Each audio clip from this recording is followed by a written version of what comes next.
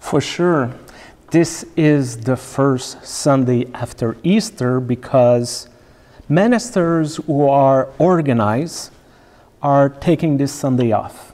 And the fact that I'm here says a lot about me.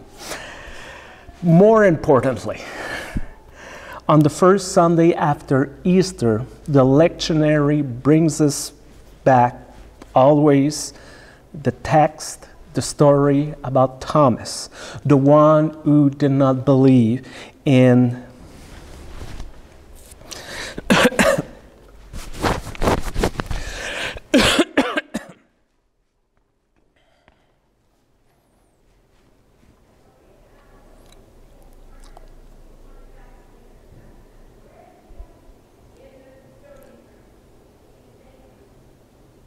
For sure, this is the first Sunday after Easter because ministers who are organized usually take this Sunday off. And the fact that I'm here says a lot about me. But more importantly, on the first Sunday after Easter, the lectionary brings always the story of Thomas, the one who is known to have doubt about the resurrection of Christ. Much, much have been said across the years and the centuries on this text. Countless sermons and reflections have reminded people that doubting is not necessarily a sin. In fact, doubts are an healthy part of a life of a believer and frequently lead to a deeper faith and spirituality. Christian, Christian, we're told, should not be too harsh on or poor doubting that Thomas.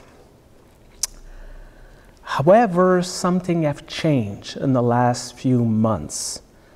We have learned new expressions like fake news and alternative facts. We have discovered that there are people paid to create and spread new conspiracy theories on, on social medias and cable shows. Politicians are not even trying to hide the fact that they're taking a bad news and they're spinning it into something good for society. These days, our problem is not that we are doubting, is that we're not doubting enough. We have moved beyond the just trust me used by a con artist. In many cases, it is very difficult to discern the difference between truth and falsehood. Skepticism has become an important skill to cultivate in order to protect ourselves from major deceptions. So, in this context, only a few days after Easter, there might even be a small voice inside of ourselves wondering if the resurrection really happened or, or was it just a good story made up by the first disciple to uh, promote their agenda and their, their claim? Maybe after all, Thomas was not such a bad guy for doubting. Maybe became, became our hero. If Thomas is mentioned in all four Gospels in our Bible, it is in the one, according to John, that that is personalities revealed, I would say. In the story of the resuscitation of Lazarus, Thomas is like the Debbie Downer uh, of the group when he claimed after Jesus' decide, decision to return to Judea, Let's also go with him that we may die with him. Wah, wah, wah. And later, when Jesus speaks about his impending death and ascension to heaven, Thomas essentially replied, Jesus, I have no clue what you're talking about. Like, whew, probably speaking out loud what others were scared or embarrassed to say. Now, Thomas, you see, is this practical, no nonsense guy. He just calls it as he sees it. So just try to be in Thomas' shoes or sandals. One day, some of his very good friends show up and claim they have seen their own master. They have seen the Lord, they say. A few days after Jesus' crucifixion, they declare, many disciples will all, were all gathered in a house. All the doors were locked. And Jesus came and stood in front of them. Honestly, like very honestly, what would you have said in Thomas' place? Yes, I totally believe you. Of course, of course, Jesus' corpse can walk through walls and doors and talk to people. There's nothing strange in all of this. Yeah, sure. Or would you rather remember that if some, something sounds too good to be true, it's probably untrue? Would you demand more proof, assurances, evidence to validate the accuracy of this claim? Would you ask to see and experience it for yourself as they all did? Would you? Well, yeah. Thomas is expected to believe without having seen. However, for an average human being, seeing plays an important part in believing. Like, like after a tragedy, uh, like um, the crash of a commercial airplane, for example, the grieving family members and loved ones often feel this urge to go on the side of the accident. They, they want to see debris or anything else that can bring them closer or, or just little something that will help them to go on with life. Well, Thomas, when told about the resurrection, is not close to this news. He just needs a little more in order to believe.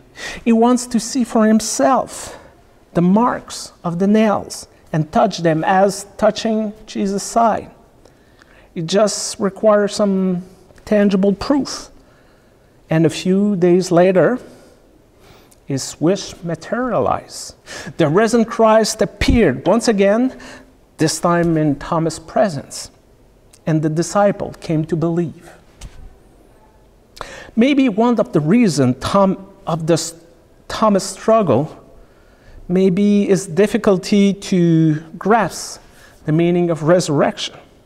Last week, I preached on Mary Magdalene, who believed on the first Easter morning that she could resume her life with Jesus as if nothing happened, as if nothing changed.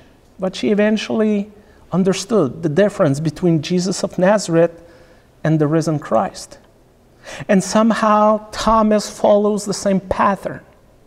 For many months, uh, he walked alongside of Jesus of Nazareth and he was expecting somehow the risen Christ would be exactly the same, the same body, the same physical attribute during his life, his death, at his burial. Nothing would have changed, he thinks. However, like I said last Sunday, resurrection implies profound transformation. The risen Christ is not a human being like you and me.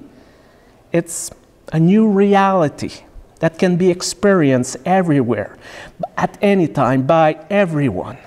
Through Christ's resurrection, we are invited to address the world from a different perspective.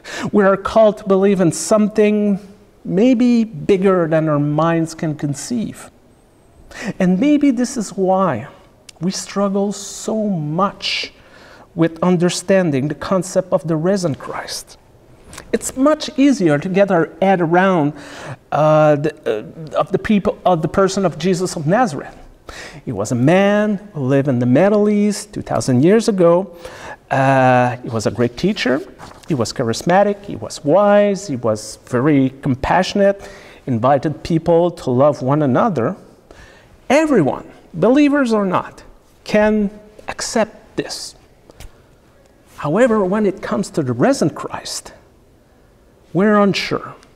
We're unsure about what we can really affirm.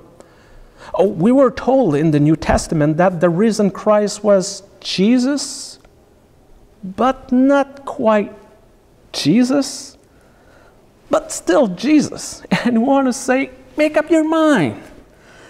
We're told by ministers and Sunday school teacher that what happened in the tomb is a complete mystery.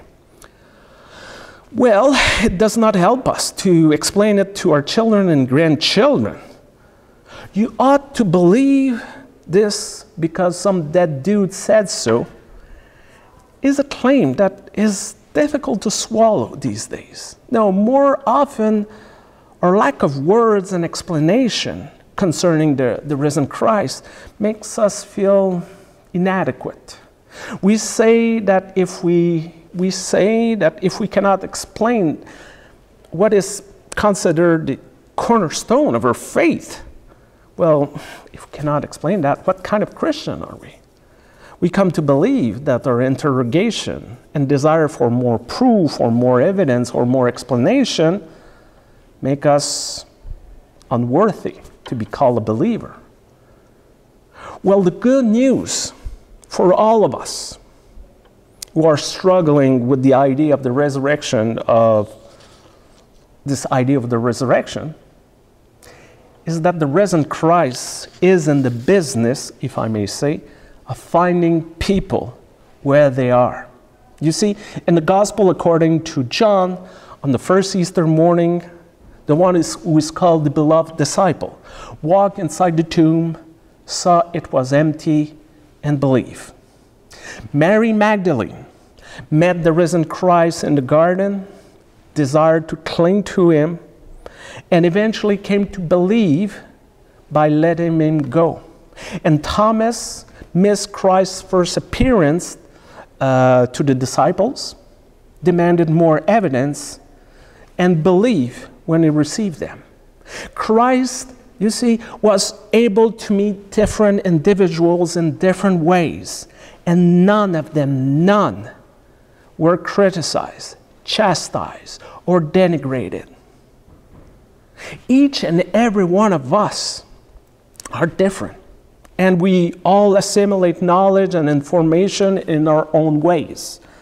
For some of us, reading stories in the Bible is enough to accept the promises of God's unconditional love and life beyond death.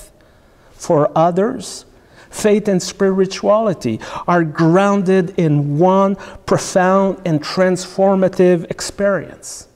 And there are some who discover and meet the risen Christ in the radical and unbounded inclusiveness of a group of a congregation that welcomed us when we needed the most.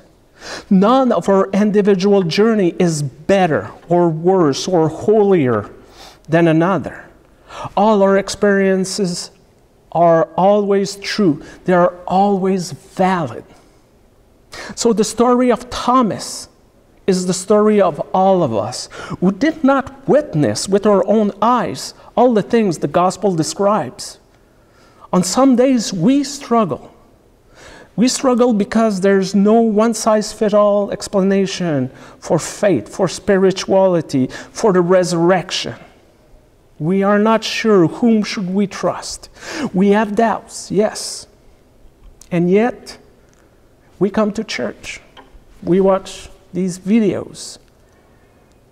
Somehow we have come to trust in this unbelievable news proclaimed by Jesus' first disciple, and to trust it because it brings life, it brings hope, it brings something that cannot be described. For our own personal reasons, we have come to say yes to the risen Christ, the one who reaches us, the one who accepts us as we are. And for this, Amen.